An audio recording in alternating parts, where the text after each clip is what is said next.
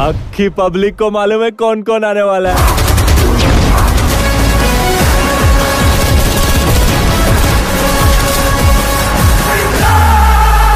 इस वीडियो में बात करने वाले हैं सुपरस्टार रजनीकांत और अमिताभ बच्चन के वेटैया के आठ दिनों के कलेक्शन के बारे में। वही जूनियर एनटीआर के देवरा के 21 दिनों के टोटल कलेक्शन के बारे में। साथ ही साथ बात करेंगे इस हफ़्ते रिलीज़ हुई आलिया भट्ट की जिगरा, राजकुमार राव की विक्की विद्या का वो वाला वीडियो और पेन इंडिया फ़िल्म मार्टिन के सात दिनों के टोटल कलेक्शन के बारे में। साथ ही साथ दोस्तों, आपको बताएँगे इस साल की one of the biggest film Singham again की फ़र्स्ट सॉन्ग रिलीज़ डेट के बारे में। तो चलिए शुरुआत करते हैं। देखते रहिएगा पूरा वीडियो। साथ ही साथ कमेंट करके बताइएगा कि इन सभी फ़िल्मों में आपके पसंद की फ़िल्म कौन सी है? सबसे पहले अगर बात करें इस हफ़्ते रिलीज़ हुई comedy drama film Vicky Vidya का वो वाला वीडियो के बारे में, जिस फ़िल्म को डायरेक्ट किया है राज शंडलिया ने, और इस फ़िल्म में हमें देखने को मिले थे राजकुमार राव और तृप्ति डिमरी। बता दो दोस्तों, फ़िल्म को सिनेमाघरों में आज सात दिन, यानी कि एक हफ़्ता हो चुका और फ़िल्म ने पहले हफ़्ते में बॉक्स ऑफ़िस पर ठीक ठाक कमाई की। यानी कि फ़िल्म का बजट और फ़िल्म के स्टार कास्ट को देखे जाए तो इस फ़िल्म का फ़र्स्ट वीक कलेक्शन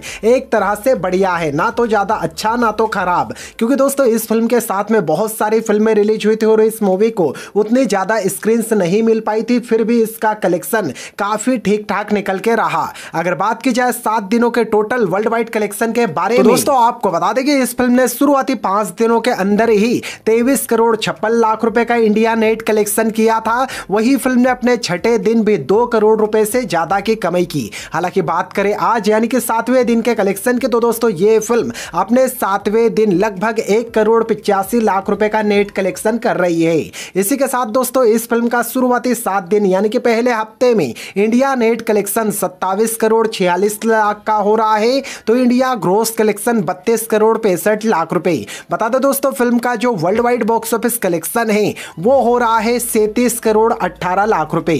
तो दोस्तों, फ़िल्म ने पहले हफ़्ते में तो लगभग सैतीस करोड़ रुपए की कमाई दुनिया भर में की। अब इस हफ़्ते कोई नई फ़िल्म रिलीज़ नहीं हो रही तो देखते हैं कि ये मूवी दूसरे हफ़्ते में कैसा कलेक्शन करती है। तो चलिए अब बात करते हैं बॉलीवुड की एक्शन ड्रामा थ्रिलर फ़िल्म जिगरा के बारे में। वसंत बाला के डायरेक्शन में बनी जिगरा, जिस फ़िल्म में हमें आलिया भट्ट के साथ में वेदांग रैना देखने को मिले थे, और फ़िल्म का बजट था नब्बे करोड़ रुपए।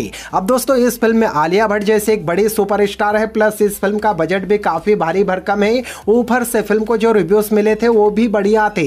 लेकिन इतनी सारी अच्छी चीज़ें होने के बावजूद भी ये मूवी बॉक्स ऑफ़िस पर पहले हफ़्ते में काफ़ी अंडर परफॉर्म कर गई। जी हाँ दोस्तों, आपको बता दें कि जितनी ज़्यादा इस फ़िल्म से उम्मीद थी, उतने बेहतर कलेक्शन इस फ़िल्म के इंडियन बॉक्स ऑफ़िस पर नहीं हुए। हालाँकि विदेशों में फ़िल्म की कमाई फिर भी एक तरह से ठीक ठाक रही। बट फ़िल्म का पहला हफ़्ता तो जैसे तैसे खत्म हो चुका है। आप देखते हैं कि ये फ़िल्म दूसरे हफ़्ते में क्या कमाल करती है। लेकिन इस वक्त अगर बात की जाए जिगरा के सात दिनों के टोटल वर्ल्ड वाइड कलेक्शन के बारे तो दोस्तों आपको बता दें कि इस फ़िल्म ने शुरुआती पाँच दिनों के अंदर इंडिया नेट कलेक्शन 20 करोड़ रुपए से ज़्यादा का कर लिया था। वही फ़िल्म ने छठे दिन सिर्फ़ एक करोड़ सैंतीस लाख रुपए का नेट कलेक्शन किया। हालाँकि बात करें आज यानी कि सातवें दिन के कलेक्शन की तो दोस्तों ये फ़िल्म सातवें दिन इंडिया नेट कलेक्शन कर रही है एक करोड़ पच्चीस लाख रुपए। इसी के साथ दोस्तों जिगरा मूवी का शुरुआती सात दिन यानी कि पहले हफ़्ते में इंडिया नेट कलेक्शन बाईस करोड़ सड़सठ लाख का हो चुका है। तो इंडिया ग्रोस कलेक्शन, छब्बीस करोड़ संतानवे लाख रुपए। बताना चाहूँगा दोस्तों, फ़िल्म का जो first week worldwide box office collection है, वो अड़तीस करोड़ पैंतालीस लाख रुपए का हुआ है, जो कि काफ़ी कम कमाई है। मतलब कि आलिया भट्ट जैसी स्टार तो उम्मीद कर रहे थे कि ये फ़िल्म सौ करोड़ रुपए का पहले हफ़्ते में कलेक्शन करेगी, लेकिन अब ऐसा लग रहा है कि इसका लाइफ टाइम कलेक्शन भी पचास साठ करोड़ रुपए से ज़्यादा नहीं हो पाएगा। तो चलिए अब बात करते हैं पेन इंडिया फ़िल्म मार्टिन के बारे में। तो एपी अर्जुन के डायरेक्शन में बनी एक्शन ड्रामा फ़िल्म मार्टिन, जिस फ़िल्म में हमें ध्रुवा सर्जा देखने को मिले थे। बताना चाहूँगा दोस्तों, ये एक बिग बजट फ़िल्म है, जिसका बजट पचास सौ करोड़ रुपए नहीं, बल्कि डेढ़ सौ करोड़ रुपए का था। और कहीं ना कहीं इस फ़िल्म को पाँच से छह भाषाओं में रिलीज़ किया है। तो उम्मीदें की जा रही थी कि यह फ़िल्म तो बॉक्स ऑफ़िस पर दो तीन सौ करोड़ की कमाई बड़ी आसानी से कर जाएगी, लेकिन इस फ़िल्म को जो रिव्यूज़ मिले हैं, उतने ज़्यादा अच्छे नहीं, और हर कोई इस मूवी को ट्रोल कर रहा है, जिसकी वजह से ही फ़िल्म के तीन दिनों के कलेक्शन तो ठीक ठाक रहे, लेकिन चौथे दिन के बाद इस मूवी की की कमाई दिन पे दिन धड़ाधड़ गिरती रही। हालाँकि हिंदी वर्जन में ऑलरेडी फ़िल्म को कोई बड़ी ओपनिंग नहीं मिली थी लेकिन फ़िल्म का जो होम मार्केट है यानी कि कर्नाटका वहाँ पर भी फ़िल्म को पब्लिक ने उतना ज़्यादा पसंद नहीं किया और अब इस फ़िल्म के कलेक्शन काफ़ी ज़्यादा नीचे आ चुके हैं। तो अगर बात करें मार्टिन फ़िल्म के सभी भाषाओं के सात दिनों के टोटल कलेक्शन के बारे में तो दोस्तों आपको बता दें कि इस फ़िल्म ने शुरुआती पाँच दिनों में इंडिया नेट कलेक्शन पच्चीस करोड़ छियासी लाख रुपए का किया था। वही छठे दिन सिर्फ़ एक करोड़ अठहत्तर लाख रुपए की कमाई की। बात करें आज की तो दोस्तों आपको बता दें कि मार्टिन फ़िल्म आज सभी भाषाओं में इंडिया नेट कलेक्शन सिर्फ़ एक करोड़ पचास लाख रुपए का कर रही है, जो कि काफ़ी कम है। और इसी के साथ मार्टिन का जो फ़र्स्ट वीक, यानी कि सात दिनों का इंडिया नेट कलेक्शन है, वो उनतीस करोड़ चौदह लाख का हो रहा है। तो इंडिया ग्रोस कलेक्शन चौंतीस करोड़ अड़सठ लाख रुपए। बता दें दोस्तों, फ़िल्म ने जो वर्ल्ड वाइड बॉक्स ऑफ़िस कमाई की है, सात दिनों के अंदर, वो चालीस करोड़ बावन लाख रुपए की हो चुकी है।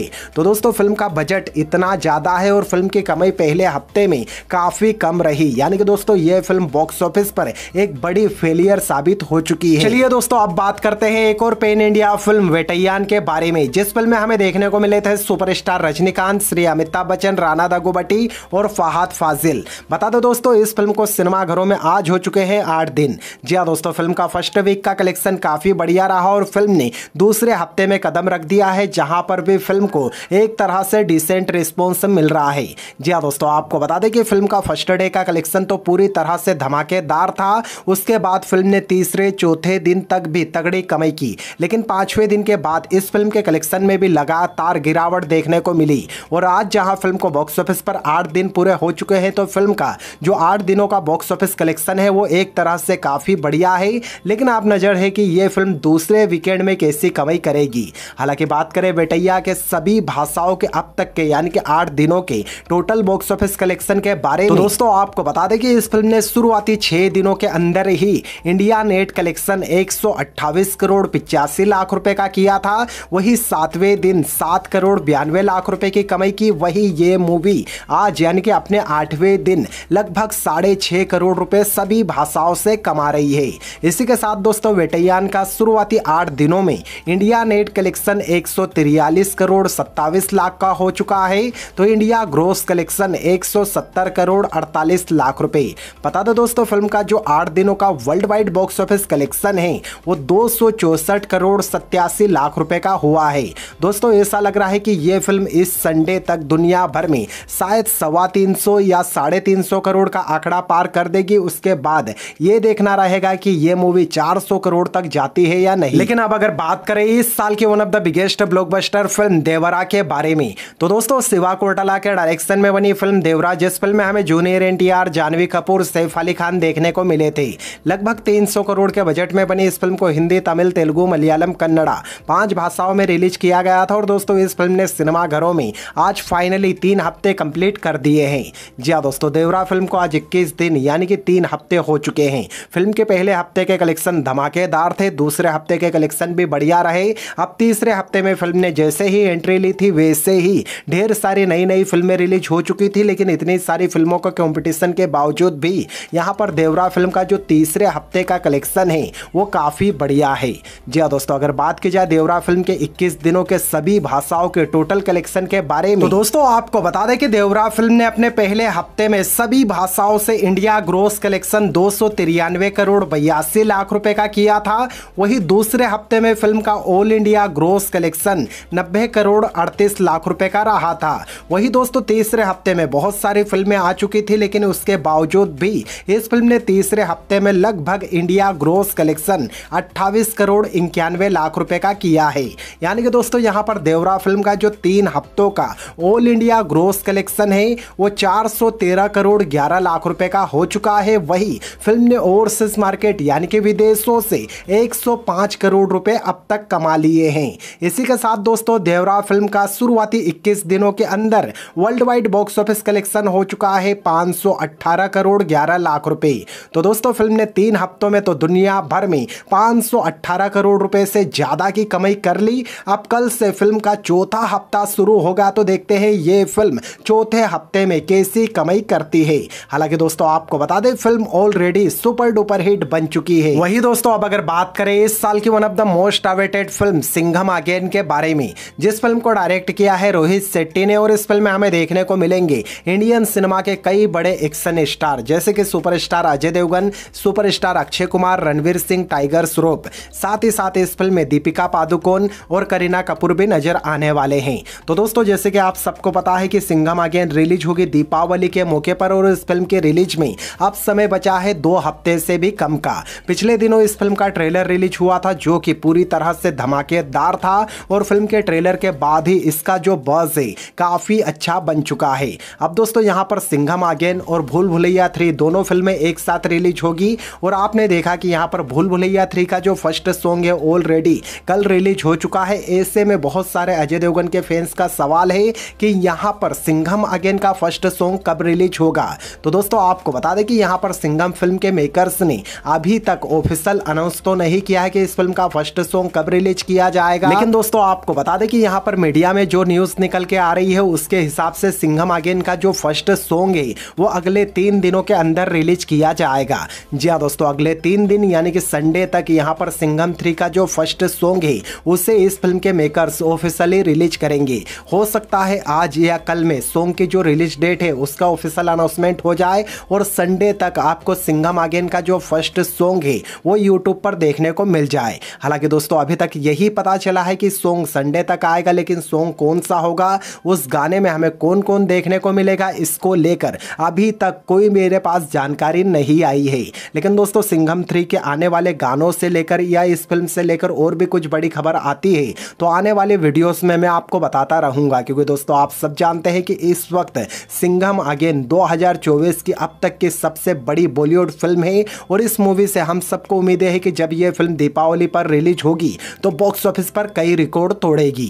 हालाँकि दोस्तों, आपको क्या लगता है इस दीपावली के मौके पर सिंघम अगेन और भूल भुलैया थ्री में कौन सी फ़िल्म बॉक्स ऑफ़िस पर बड़ी ब्लॉकबस्टर होगी? कमेंट बॉक्स में कमेंट करके ज़रूर बताएँ और daily box office collection videos देखने के लिए आपके अपने इस चैनल को सब्सक्राइब करना बिल्कुल ना भूले। मैं मिलता हूँ आपसे अगले वीडियो में। जब तक के लिए ख्याल रखें अपना और अपने माता पिता का। जय हिंद वंदे मातरम।